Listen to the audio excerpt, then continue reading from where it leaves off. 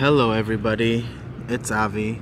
I'm in Muntinlupa in the Philippines and I'm on the rooftop of Azumi Hotel and I want to show you guys something really cool. This is the roof of the hotel. This is a infinity swimming pool on the roof as you can see. You have your infinity swimming pool.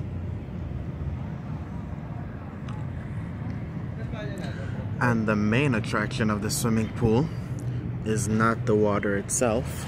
It is actually the view that you can see the whole city. Take a look guys. This is awesome. Behind those buildings you can see the port.